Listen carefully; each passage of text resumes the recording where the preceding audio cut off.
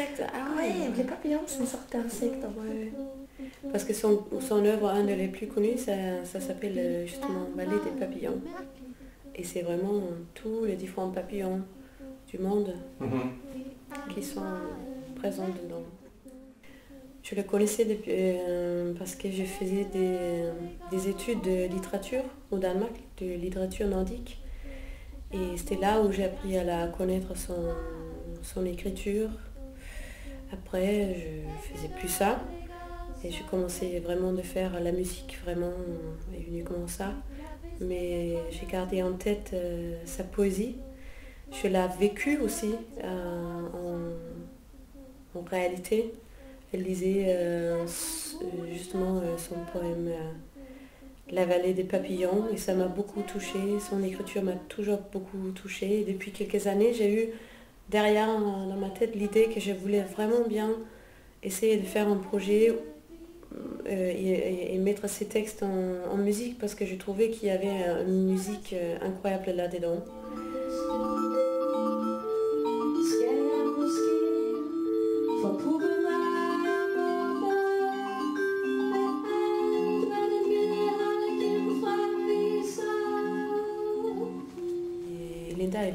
Complètement ravie, donc on a, on a très vite décidé de- que c'était notre route pour, euh, pour ce qu'on devait faire ensemble, parce que ça nous, tous les deux, ça nous, nous avons vraiment beaucoup. On fait un peu euh, des traductions françaises dans notre projet pour, euh, pour ouvrir une petite fenêtre vers la public française, mais en fait, pour elle, c'est vraiment la sens et le son du mot, de phrase vient en même temps. C'est vraiment comme... De la musique. La- oui, la musique euh, de, de langue euh, naît aussi le sens. Alors on voit vraiment dans les textes danois que c'est des, des accidents qui, a, qui, a- qui mènent euh, l'histoire du poème en fait.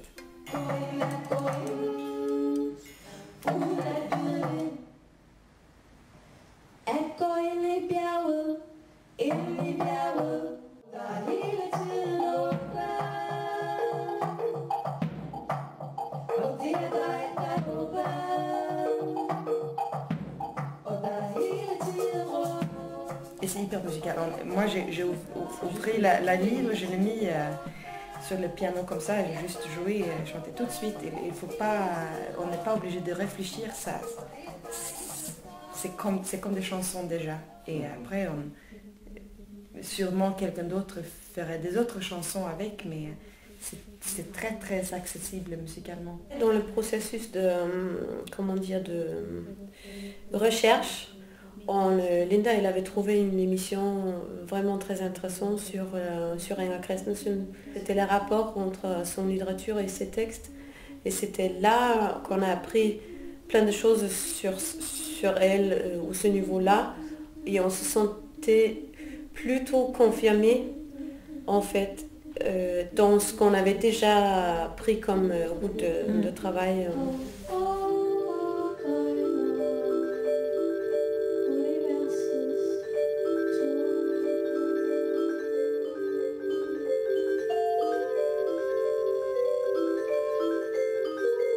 Drôle aussi, je pense à, Carl Ibe Paulsen, qui est le monsieur qui a traduit ces textes en français, qui, qui l'a connu très bien personnellement et a travaillé avec elle avec les, sur, sur les traductions et tout ça. Et lui, euh, il nous a entendu deux fois déjà. Il dit, euh, après il vient vers nous avec, il dirait, Hmm. alors lui aussi, il a affirmé qu'elle serait contente qu'on fait quelque chose avec ces textes, qu'on les, les- alors c'est, euh, Ouais. ouais, c'est important quand même de, On a lu tout et on a, on a essayé de trouver des poèmes courts et des poèmes qui nous avaient parlé directement. C'est ça qui avait, qui était le, comment dire, le, contrainte. les contraintes. ouais. Et on a aussi, euh, d'abord, on avait l'idée de faire tout le Valet de Papillon, qui est un très très long poème. hein. On Ouais. C'est une sonnette en euh, 15 vers et tout ça. On a, on a fait, on a commencé ce projet-là. Et finalement, il ne reste que deux, deux vers de ce poème parce que là, on, on s'est vraiment trouvé euh, coincé euh, Pas le... Ouais. Parce qu'on dirait que oui, ça, ça, ça ferait tout un concert et toutes les petites choses et toutes nos, improvisations et tout ça, il serait plus de place pour nous là-dedans. Ouais, c'est, on, a, on a vraiment essayé de trouver euh, cet équilibre.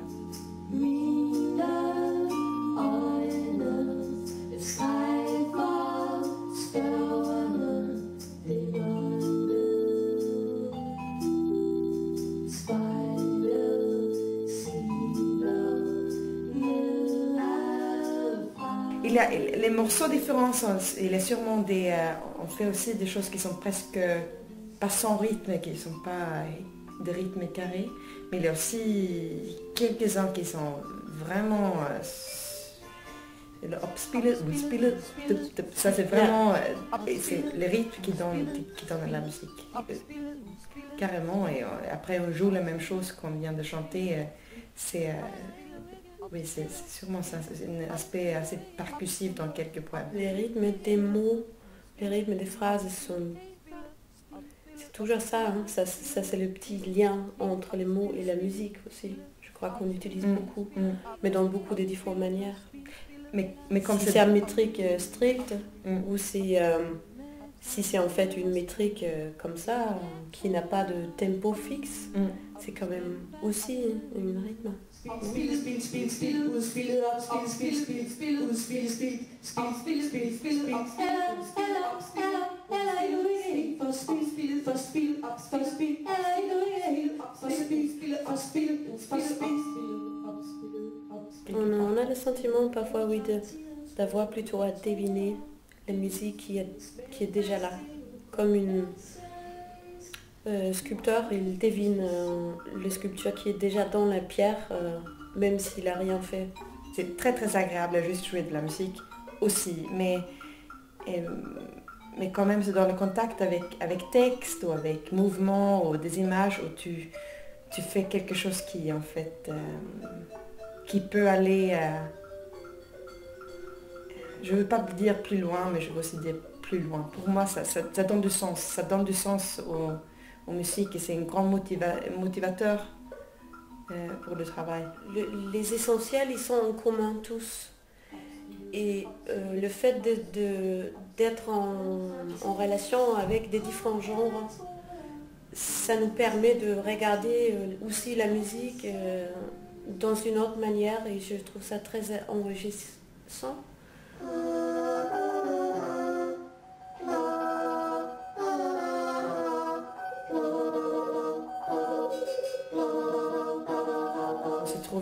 Tous les deux à Paris, on ne se connaît pas avant. On a commencé à jouer ensemble, mais juste euh, jammer, on fait des bœufs comme ça, et puis on a, on a trouvé ça, et on a trouvé cet objet avec lequel...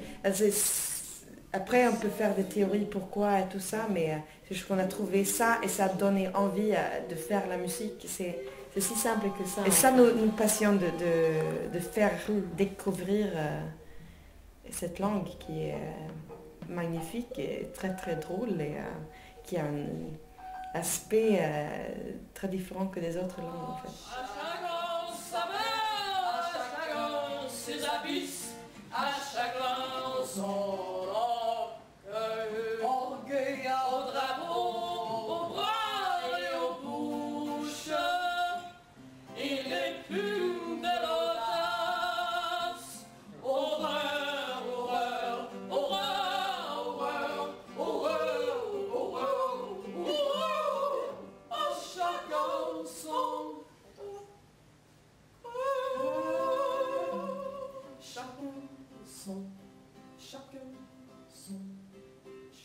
Je trouve ça très enrichissant. Enrichissant. Aide-moi Linda.